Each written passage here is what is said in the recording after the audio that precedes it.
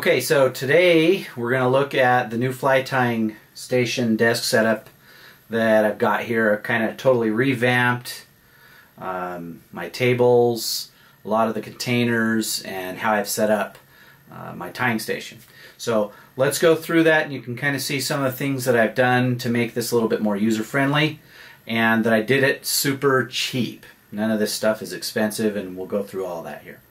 Okay, we'll start off with the, the wide view of the room.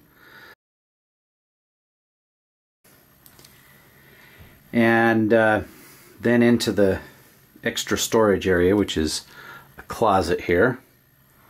But, uh, so I'll start with that. This is where I put most of the extra materials and things. For instance, I've got a drawer of just extra dubbing and dubbing containers. These are ones that I don't use a lot then some foam.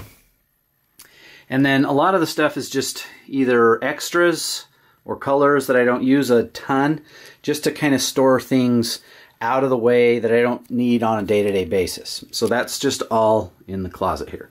Okay, now switching to the fly tying area, these are IKEA tables, so they're super cheap. I think I've gotten several of these for between 15 and $20.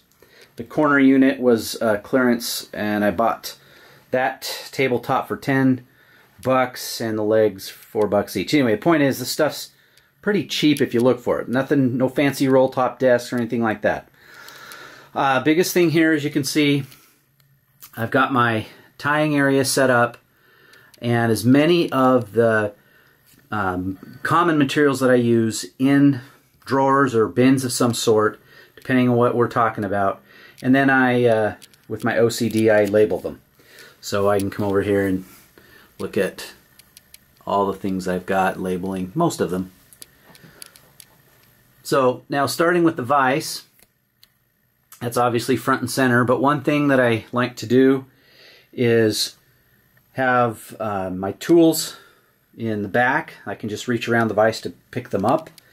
Uh, I also like to have a little lap desk area that I can kind of put materials on because when you're tying it's important to have as many of the materials within easy reach. You don't want to have to be uh, reaching across for things. Uh, so you know this kind of gives you a lot of work area. I've got a table over here that uh, gives me some more area to expand and kind of organize things. Uh, got all my dubbing containers and then again all of the uh, materials and things broken down into drawers of these little Rubbermaid uh, plastic bins. You can get these at Walmart. They're super cheap. Um, I've got a lot of my threads on these uh, fancy little thread spool holder or thread bobbin holders. And then I've got my hooks back in there. Got some beads. And uh, just the area kind of set up like that. And that's where we take pictures of some of the flies.